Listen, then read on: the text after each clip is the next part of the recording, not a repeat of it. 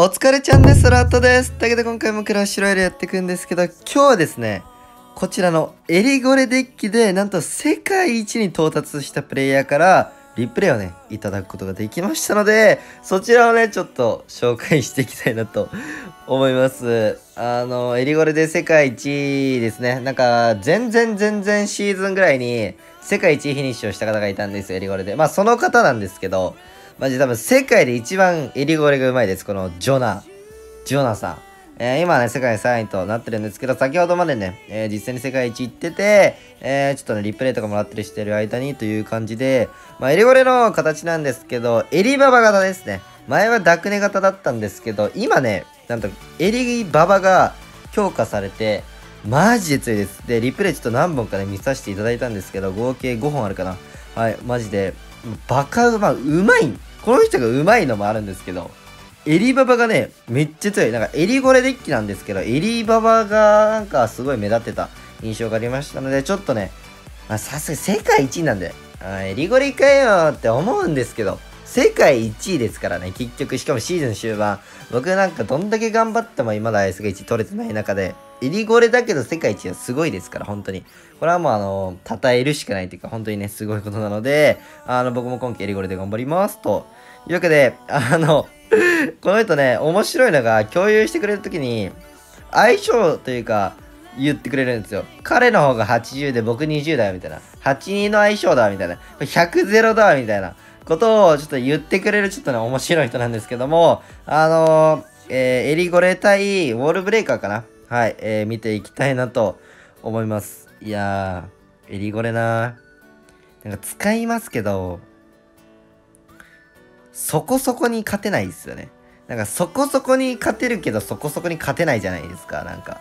でそれは、お世界一位行くっていうのはちょっとすごいですよね。さあ、とりあえず、まあなんか、全部無視して、初手エリゴレヒーラー。で、コウモリだけはね、しっかりヒースピで、めちゃくちゃなんか際どい、ちょっとディガーに飛びそうなヒースピだったんですけど、はい。ヒースピで、えー、もうこうボムタワー来ました。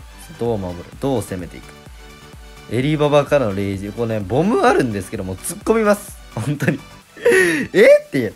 本当に？っていう感じなんですけど、まあまあ多少ダメージ入って、しかも、まあエリアドもね、別に3ぐらいしか取られてないので、大きく取られてるわけでもない。で、そこそこに守ります。あの、なんか完全無視なのか思ったら、まあ、ちょいちょいね、本当に、本当のちょいちょいだけ守ってる、なんか印象がありましたね。はい。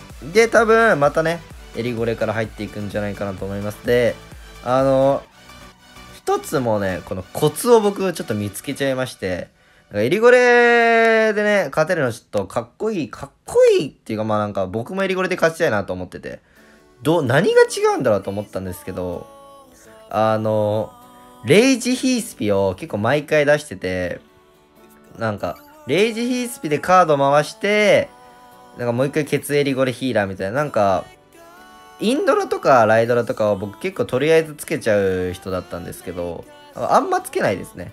で、ここもちょっとなんかうまい、なんかうまいですね。このエリババで守って、ハシマエリゴレで、まあ、レイジしてるだけなんですけど、このなんか、このタイミングで、ちゃんとコウモリとミリノクリナイト無視して、えー、このハシマエリゴレするっていう判断も、ああ、もう確かになっていう。で、まあ、これだけで倒れちゃうんですよ。いや、エリババばっか強いですよ。これ多分やばいっすよ。本当に緊急顔修正来てもいいぐらい、インドの強い。さ、ディガー読みインドを外していく。で、またエリババね。エリババ、何が強いかって、もともと火力高いじゃないですか。それに、速さが加わっちゃったんですよ。だから、ペッカの、ペッカがめちゃくちゃ高回転で殴るみたいな、なんかそんな感じ。まあ、聞くだけで、なんか想像するだけで強いんですけど、なんか一発が重たいのに、殴るのも早くしちゃったら良くないよねっていう。範囲攻撃なのに火力めっちゃ高いみたいなやつですね。そう。なんかそんな感じでね。あとはまあエリゴレレイジして、これはもうなんか時間稼ぎなのかなとか思いながらもう、これがバカ入るんですよね。いや、なんかよくわかんないですね。こんなエリゴレ通るっけと思いながら、まあまあまあ、そんなわけでね。いや、でもこれあれだ。11になって、さあ、まだ終わらないやつです。80、20って言ってましたね、相性。82。うん。まあなんか、5プラスのデリバリーで、やっぱライドラが解けちゃうっていうのがあの、しんどいですね。ライドラって、ライトニングとロケット以外基本的に全て耐えるんですけど、ファイボヤナメの編成とか、ファイボデリバリーがね、あのー、されるとやっぱ溶けちゃうので、そういったところで、このね、ファイボデリボムは、なかなかやっぱきついという感じなんですけども、まあなんか、普通にね、勝っていけます。結構ギリギリな気もしますけど、まあ、相性悪いんだよという感じですね。さあ次が100ゼロです。100ゼロ。もうどっからどう頑張っても勝てねえ相性を、えー、勝ちましたよという素晴らしいね、リプレイをもらいました。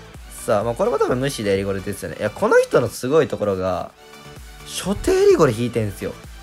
なんか僕エリゴレ使っても、こんな最初からエリゴレないんですよね、いつも。なんかとりあえずインドラ出してとかしてるんですけど、100%ぐらいやっぱエリゴレ引くっていうのが、まあそこがなんかエリゴレに愛されてるか愛されてないかみたいな気もね、しないこともないですよね。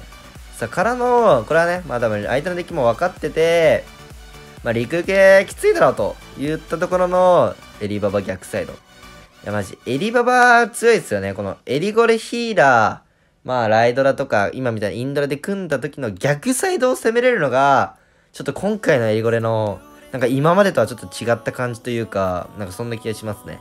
で、マジ一つ疑問、疑問なのが、ここなんで穴埋め打たないのっていう。いやーなんかね、これは打ってよくないってすごい思ったんですよ、僕。ディガオールウェイかナムだけで。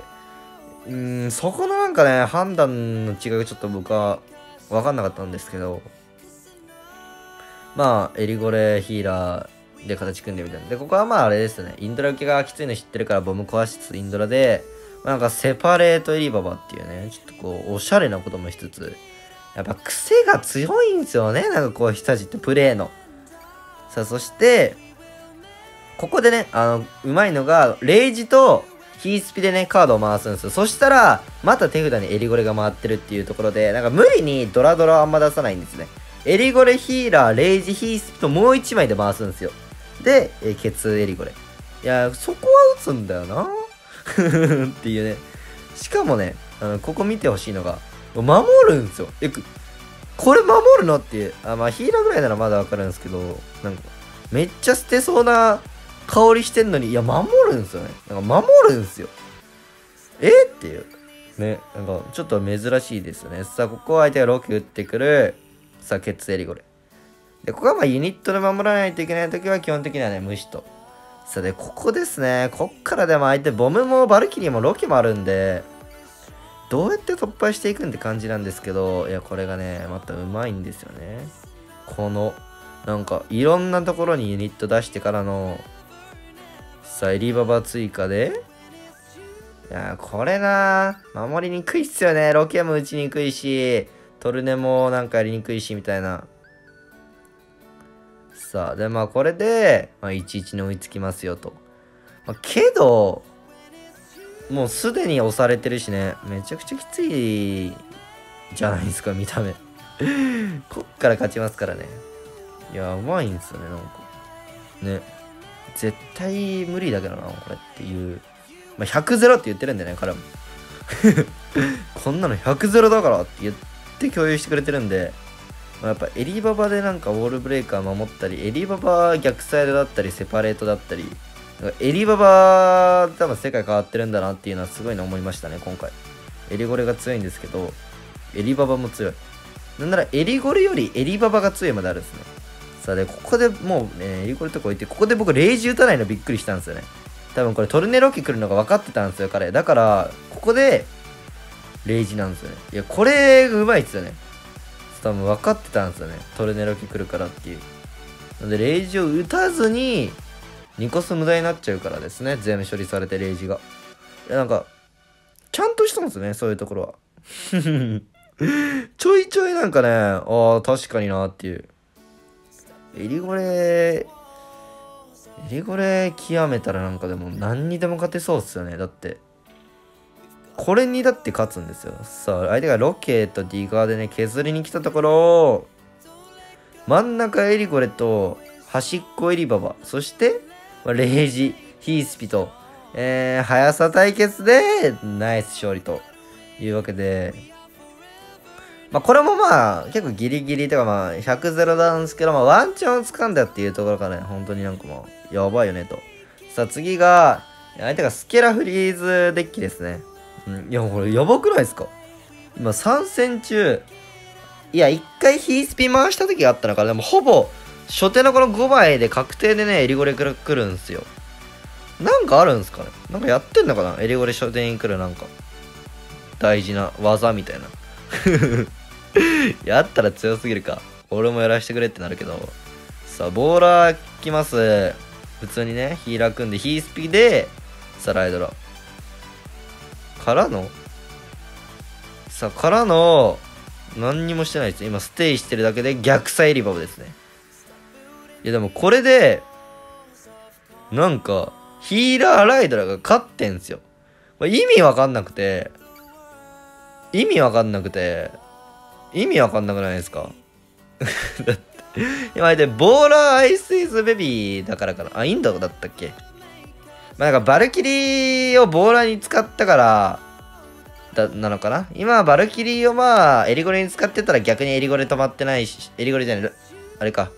エリババ止まってないし、まあ、エリババに出してからエリゴレが通ったみたいな感じなのかな。まあ、とりあえず、なんか逆サイエリババ。とつる時もあるんですけどね。エリゴレの後ろにとつる時もあれば、逆サイにね、ぶっ破する時もあるっていう。さ、ここもなんかね、もう、やばいんですよ。そこ行くかっていう、もう。ね、で、レイジエリババが強すぎて、バルキリーなんかもう、ペチョンペチョンっすよ、もう。気づけば溶けてる。いやもう2対1っすよ、男側女性に。最低だなっていう。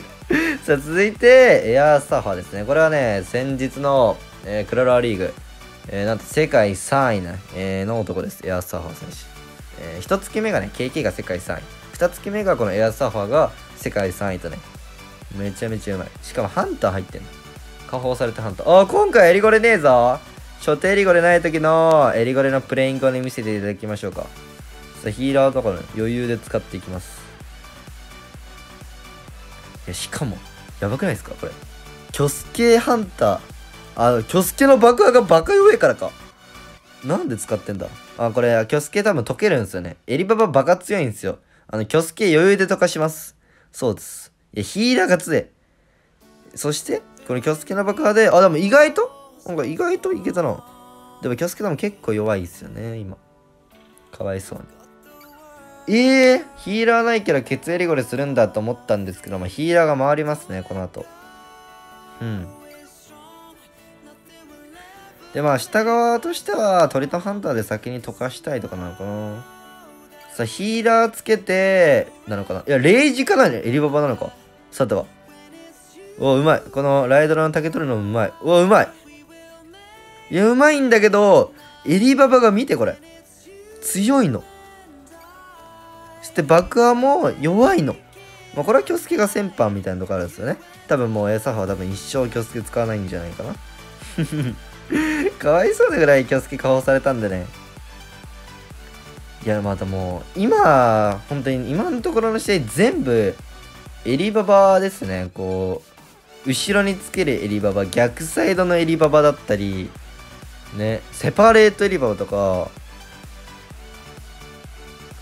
エリババがとりあえず強いことだけは分かります。皆さん。エリババ乾燥させましょう。今すぐ。エリババやば。いや、守るんかい、そこ。なんか守ったり、ああ、まあ、ここでも。確かに。ライドラ残りそうっすもんね。ああ、言うてか。ライドラ行かれるか。さあ、ヒーラー組む。いや、こっから難しいですよ、でも。でも、キョスケの爆破がしょぼいから、もう関係なしにユニットつけちゃうんですかね。うん、2周目エリゴレ。あー、エリババ。いや、でもなんかうまいな。なんか、なんか、なんかうまいっすよね、多分。いやで、ヤナメか？え？なんでそんな入ってんのっていうぐらい入ってません、ダメージ。ね。いや、マジで、よくわかんないんだよな。でまあこれはリゴレレイジが強くてさ落ちていく。なんかそんな通りそうだったっていう。なんか。全然通りそうじゃないのにめっちゃ通ってんすよね。あなんか多分なんですけど1体目のエリゴレが爆破して小型ゴレになるじゃないですかなんかそのタイミングぐらいで2体目エリゴレを多分出したんですよ。だから、小型ゴレ、エリゴレ2体生まれるじゃないですか。それじゃなくてタワーとかが、大きいエリゴレを殴ってるんですよね。だから、あの、2段階目のエリゴレがめっちゃタワー殴ってる。多分そんな感じだと思いますね。だから2周目真ん中エリゴレをさっきもうボムタワー相手にもしてたんですよ。だから、まあ、2周目の真ん中のエリゴレが強いのと、またエリババセパか同妻ブッパが強いと。さあ僕の予想はこれね、エリゴレヒーラーインドラ組んで逆サイエリババじゃないのかなどうなんだろう。さあ、で、逆サイ、あ、同妻か。ここ、いや、どうなんだレイジか？あ、出たで、ヒースピはタルババ使ってからヒースピ？いや、使ってねえけど、ああ、え？もしかしてこれは、なんかツイッターとかでよく回ってきそうな。もしかして。で、しかも真ん中のエリゴレがね、あの左のタワーだけ取ってて、も、もしかして、もしかして、これ、皆さん、これで世界一です。え？俺でもできるやんってなるっすよね。やりましょう。いやー、エリゴレ、増えそうだな、この動画出したら。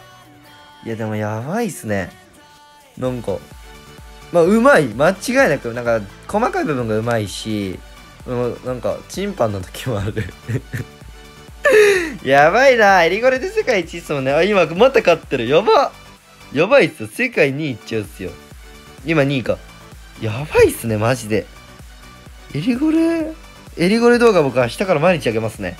はい。というわけで、ちょっと皆さんもぜひ一緒にエリゴレ頑張りましょう。というわけで、あの、ま、エリババが強いのもあるんですけど、ちょっと新環境はね、いろいろもうざわざわしてて、すごい楽しみですね。あのー、今シーズン、まあ、ロングシーズンだと少しなんでね、え皆さん、トラゲも頑張りましょうというわけで、終わります。よければチャンネル登録、高評価ね、コメントもよろしくお願いします。では、お疲れちゃんでした。またね。